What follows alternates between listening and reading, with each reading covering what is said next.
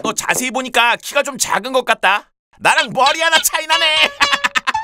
그럼 머리가 하나 없어지면 되겠네. 아, 이러면 눈높이가 맞지 않을까요? 어라? 사라졌네?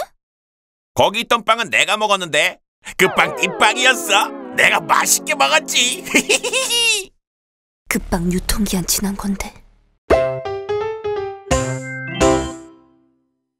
아이고 파리야, 동생 나 콜라 한 잔만 줄래?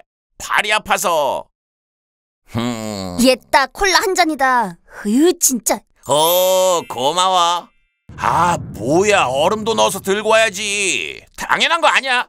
이 정도면 충분하시겠습니까, 이 자식아? 야 라면. 아 싫어. 또 뭐 시키려고 부르는 거지? 아휴. 야 그냥 내가 말할 게 있어서 부를 수도 있지 화부터 내냐? 음, 미안. 미안하면 라면 좀 끓여와. 이 미친.